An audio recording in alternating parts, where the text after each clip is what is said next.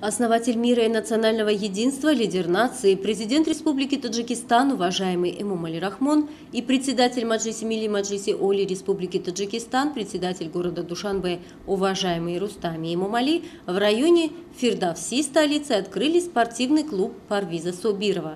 Учредителем спортивного клуба является борец мирового уровня Парвиз Сабиров – а зал с соблюдением всех строительных и архитектурных норм построен на сумму 2 миллиона 400 тысяч самани за счет его личных доходов.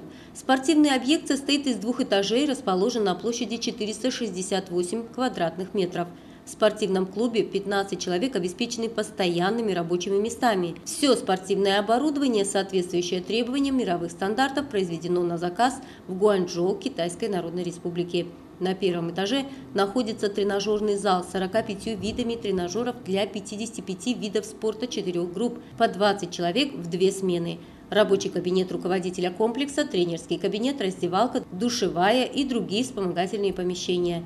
На втором этаже расположен зал под дзюдо, рассчитанный на 4 группы по 20 человек в две смены. В целом комплекс построен на 100 человек. Открытие спортивного клуба еще больше расширило возможности молодежи для занятия спортом в столице. В ближайшем будущем запланировано в подвальном помещении здания открыть женский спортзал со всем оборудованием. Оборудование, необходимое для тренировок, уже закуплено.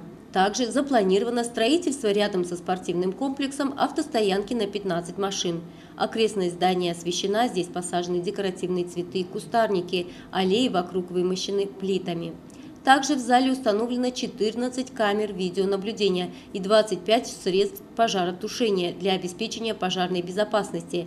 После ознакомления со спортивным клубом президент страны, уважаемый Эмомали Рахмон, дал высокую оценку достойной инициативе известного спортсмена страны Парвиза Субирова по строительству современного спортивного объекта и выразил благодарность за его стремление благоустройству, организации рабочих мест и созданию условий для привлечения жителей города к спорту и физическому физическому воспитанию.